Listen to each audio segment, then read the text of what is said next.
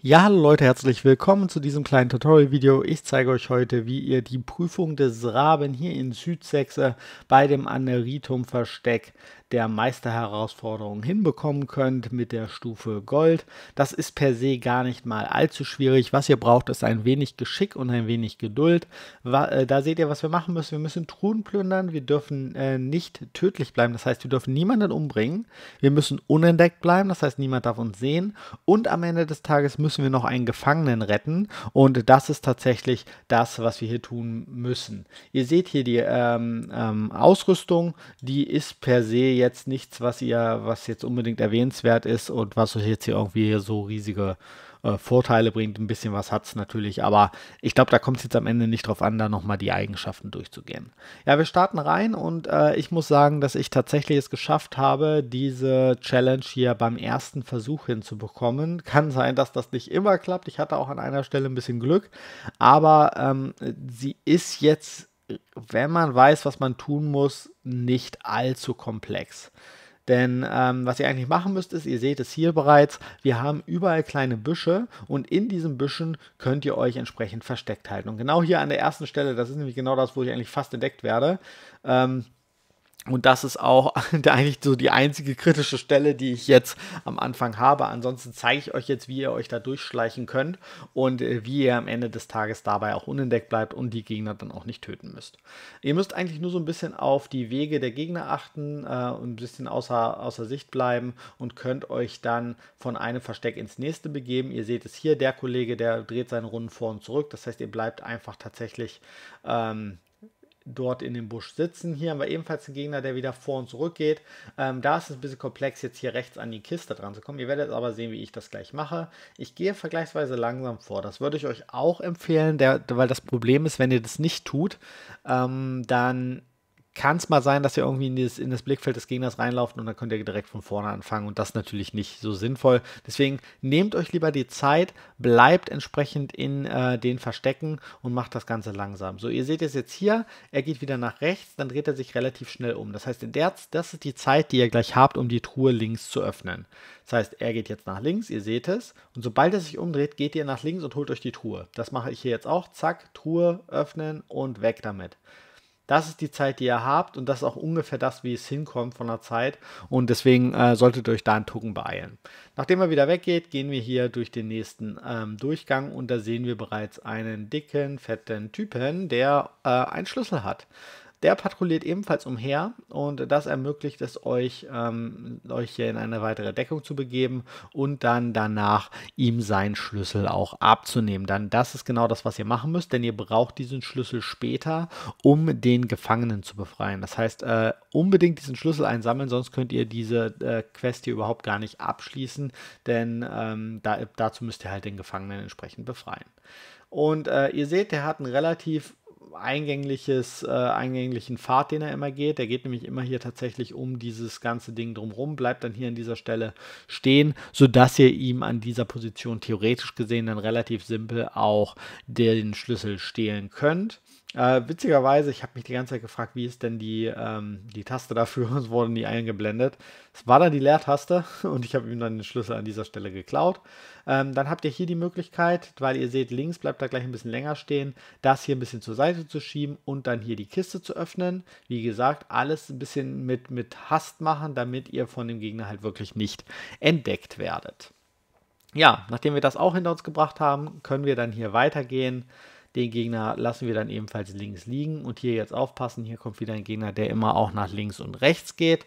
Ähm, der kollidiert so ein bisschen in seinem Pfad mit dem, den ihr auf der rechten Seite gerade seht. Der geht so vor und zurück und ihr müsst auf beide so ein bisschen achten, wenn ihr hier an die Kiste auf der rechten Seite heran wollt. Und was ich jetzt erstmal mache, ist, ich begebe mich hier auf die andere Seite, um einfach auch einen besseren Überblick zu bekommen. Und dann sehen wir schon, dass da ebenfalls ein kleiner Busch ist an dieser Seite, in den wir dann reingehen können, wenn der Gegner hier an mir vorbei ist. Aufpassen jetzt links, wenn da gerade der Gegner steht, dann solltet ihr das, was ich gerade getan habe, nicht machen. Das heißt, behaltet auch den Gegner jetzt hier, der da hinten ankommt, äh, ein bisschen im Blick, weil der kann euch natürlich äh, genauso gut entdecken wie der andere hier. Das heißt, da muss ihr ein bisschen darauf achten, dass die so irgendwie einigermaßen harmonisch hin und her wandern. So, der dreht sich um, der Typ bleibt aber irgendwie drei Stunden stehen und das ermöglicht es mir dann aber irgendwann hier auch diese Kiste zu holen und mich dann schnell wieder in mein äh, Versteck zu begeben.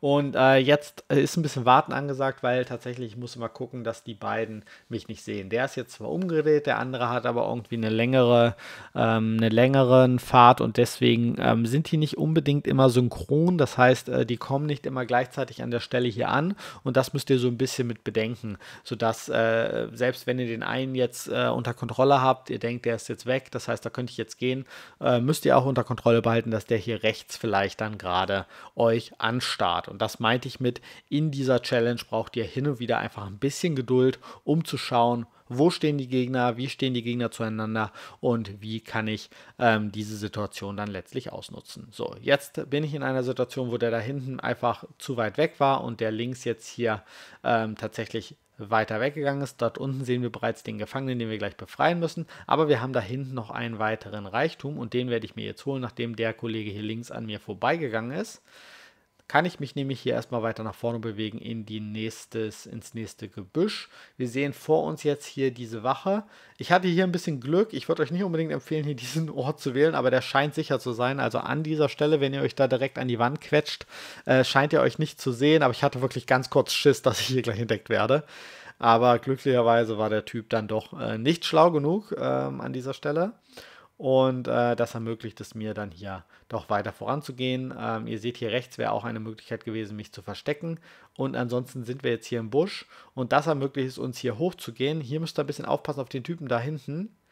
Und äh, ich war glücklicherweise knapp schnell genug, aber das, das hätte auch böse ausgehen können. Wartet notfalls einfach nochmal ab, bis der Typ hier bei euch war und wieder wegläuft, weil dann habt ihr genug Zeit, einerseits die Kiste zu holen und andererseits auch im Nachgang wieder runter zu springen. Aber insgesamt habt ihr hier eigentlich genug von den Zeiten her, um äh, das relativ locker und flockig einsammeln zu können. Das war jetzt auch die letzte Kiste. Das heißt, wir haben alle vier Kisten hier in dieser Challenge eingesammelt und äh, das Einzige, was jetzt noch verbleibt, ist wirklich, den Gefangenen nach draußen zu bringen und äh, da, dabei unentdeckt zu bleiben und niemanden umzubringen. Das mit dem Umbringen hat ganz gut geklappt. Wir haben jetzt die Gegner, die wir jetzt bereits gesehen haben, sind auch die Gegner, die uns jetzt hier noch erwarten, denn wir müssen den gleichen Weg, den wir reingegangen sind, jetzt auch wieder raus rausgehen. Und ähm, das sehen wir jetzt auch gleich. Ich werde jetzt gleich den Gefangenen dort hinten befreien und mich dann auf dem gleichen Wege hinaus begeben, den ich vorher hineingenommen habe. Ähm, das Ganze natürlich dann mit einem entsprechenden Gefangenen auf dem Rücken. So, jetzt gehen wir erstmal hier rüber. Und dann gehen wir sogar noch einen weiter hier rüber. Und dann äh, brauchen wir nämlich den Schlüssel, den wir vorher von der dicken Wache abgenommen haben, um diesen Käfig hier zu öffnen. Dazu benötigt ihr den Schlüssel. Und ich warte jetzt ab, bis diese Wache hier auf der unteren Ebene sich tatsächlich wieder von mir entfernt. Das ist tatsächlich in diesem Fall auch die einzige Wache, die ihr an dieser Stelle hier bedenken müsst. Alle anderen Wachen sollten hier nicht wirklich runterschauen können. Das heißt, äh, ihr müsst wirklich euch nur darauf konzentrieren, dass er dieser Wache da entsprechend ausweicht. Ja, ähm, da seht ihr es, da haben wir also schon mal das Tor geöffnet. Und in diesem Fall hätte ich jetzt hier bereits mir den Gefangenen schnappen können. Leider Gottes habe ich irgendwie aus Versehen den Knopf zu schnell losgelassen. Und dann war es mir doch zu riskant, ich bin nochmal zurückgegangen. Per se hätte ich genug Zeit gehabt, das wirklich die Animation abzuwarten. Also ihr kennt das ja, wenn ihr einen Gefangenen oder sowas auf den Rücken nehmt, da gibt es eine kleine Animation, die dauert ein paar Sekunden. Und äh, in diesem Fall war das ebenfalls so. Und ich hätte die nur einfach abwarten müssen, denn der Kollege hier rechts, der steht wirklich sehr, sehr lange an seinem vorherigen ähm, Ort. Das heißt, da müsst ihr euch eigentlich keine größeren Sorgen machen, dass der sich in dieser Zeit umdreht. Ähm, nichtsdestotrotz, sicher ist sicher. Also wenn ihr da auch irgendwo mal Zweifel habt, bleibt lieber noch mal eine Runde länger irgendwo stehen. Ähm, wenn euch das Sicherheit schafft, dann ist das wirklich sehr, sehr sinnvoll. So, und jetzt sehen wir, haben wir hier den Kollegen uns geholt und ich dachte zuerst, ich muss hier irgendwie nach rechts eher gehen. Äh, was irgendwie dumm war. Also wir hätten hier rechts irgendwie runterkommen können. Ähm, das war ein Weg. Ich dachte, ach, muss ich den jetzt hier lang bringen? Ist das ein anderer Weg? Aber nein, ihr müsst wirklich den kompletten Weg zurückgehen, den ihr gekommen seid.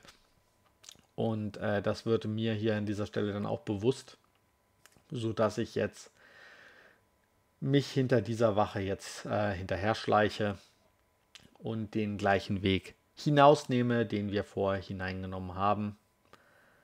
Und da wir jetzt bereits die Gegner ungefähr kennen, sollte das auch gar kein großes Problem sein. Jetzt sehen wir hier die Wache vor uns. Ähm, wenn die sich wieder umdreht und an mir vorbeigelaufen ist, wenn ihr in dieser Position seid, könnt ihr einfach geradeaus durch. Der dreht sich ja dann auch jetzt nicht mehr um. Das heißt, das sollte einfach für euch möglich sein. Oben auf die Wache ein bisschen aufpassen, obwohl ihr da auch hier in diesem Busch direkt landet, sodass euch diese Wache ebenfalls kein großen äh, Problem sein solltet. Ich bin sogar so mutig und gehe direkt hier weiter, weil ich wusste, dass die Wache relativ langsam hier rumgeht. Riskiert nicht zu viel. Wie gesagt, äh, wenn sie euch dann entdecken, ist es echt dumm, wenn ihr schon alles fertig habt und dann nur wegen so blöden Fehlern einfach entdeckt werdet. Aber per se äh, habt ihr ja so ungefähr jetzt ein Gefühl, wie, wie die Wachen sich bewegen. Hier links haben wir den Dicken wieder. Der geht also gleich wieder seinen eigenen Gang. Das heißt, da könnt ihr einfach locker drauf vorbeischleichen, ebenfalls ohne großen Aufwand. Und am Ende sind hier noch so diese paar Wachen, die dann wirklich so ein bisschen blöder sind äh, tatsächlich. Ähm, lustigerweise, die sieht euch aber auch nicht, selbst wenn ihr jetzt äh, euch hier durchbegibt, während sie da steht. Also weiß ich nicht, der ist wirklich sehr, sehr dumm. Äh, und dann in dem Moment, wo er nach links geht, könnt ihr euch einfach hier an dieser Wache vorbeischleichen. Hier oben ein bisschen aufgepasst, die ähm, ist halt, sie hat so einen blöden Weg einfach. Ähm, und die kommt nämlich fast bis nach hier hinten und dann müsst ihr so ein bisschen schauen, dass ihr da nicht in diese Wache reinlauft und euch dann relativ schnell hier in den Busch daneben bewegt. Äh, wie gesagt, der hat einen relativ schnellen Pfad, deswegen müsst ihr euch da ein bisschen ranhalten. Ähm, es sollte aber durchaus möglich sein. Hier oben haben wir wieder eine Wache die mich glücklicherweise auch durch Dummheit nicht sieht. Also, wie gesagt, vielleicht könnte er noch ein Tucken vorsichtiger sein als ich. Ähm, wenn ich mir das jetzt so angucke, war das vielleicht nicht das, das allerbeste und äh, schönste, was ich hier gemacht habe, aber äh, es funktioniert. Von daher alles gut. Und das war auch schon die letzte Wache. Jetzt seid ihr draußen, legt äh, den Kollegen dort oben einfach ab. Und ähm, ja, das wäre es dann gewesen. Ich hoffe, dieses kleine Tutorial-Video hat euch weitergeholfen. Ich hoffe, ihr habt die Challenge auch hinbekommen. Wenn es euch geholfen hat, lasst doch bitte ein Like und ein Abo da. Und äh, ich hoffe, ich sehe euch auch in einem weiteren Video wieder. Ich wünsche euch noch einen schönen Tag und äh, macht's erstmal gut. Bye, bye.